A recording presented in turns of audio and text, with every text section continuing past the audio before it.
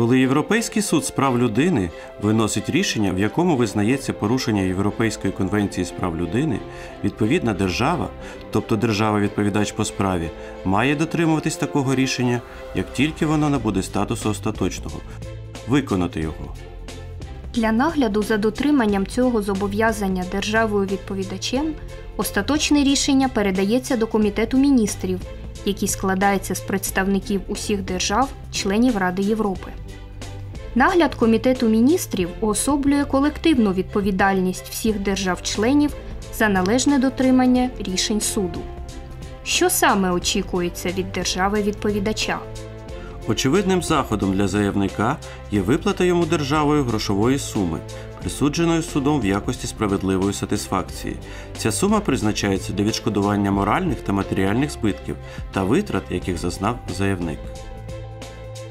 Однак органи влади держави відповідача часто покликані вжити інших заходів в інтересах заявника для того, щоб усунути, наскільки це можливо, наслідки порушення його прав.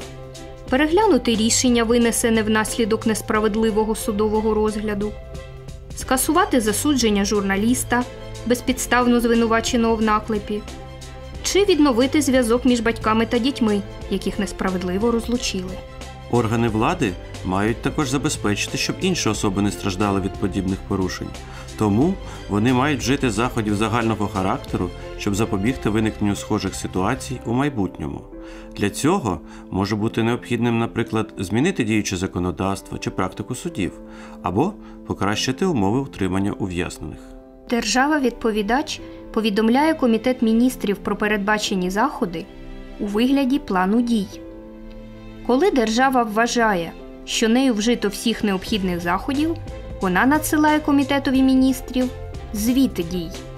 Якщо після його вивчення комітет приймає наданий звіт, справа закривається прийняттям остаточної резолюції. Під час нагляду за виконанням рішень заявники можуть повідомляти комітет про будь-які проблеми, з якими вони стикаються при отриманні належного їм відшкодування.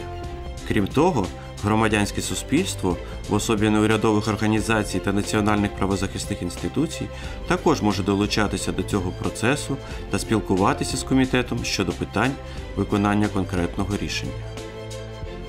Комітет міністрів присвячує чотири засідання на рік виконанню своєї наглядової функції. За необхідністю, комітет також може розглянути будь-яку справу на одному із своїх інших засідань. Якщо виникають проблеми з приводу виконання рішення, комітет має у своєму розпорядженні широкий спектр заходів для допомоги державі у подоланні цих проблем. Але як відбувається контроль за виконанням дружнього врегулювання або односторонньої декларації? Комітет також здійснює нагляд за дотриманням умов дружнього врегулювання. Однак він не здійснює нагляд за виконанням односторонніх декларацій, нагляд за якими залишається в компетенції суду. Більш детальну інформацію щодо виконання рішень та нагляду за ним Комітетом міністрів можна отримати на сайті Комітету міністрів, а також на сайті Департаменту з питань виконання рішень Європейського суду з прав людини, який допомагає комітету в здійсненні його наглядової функції.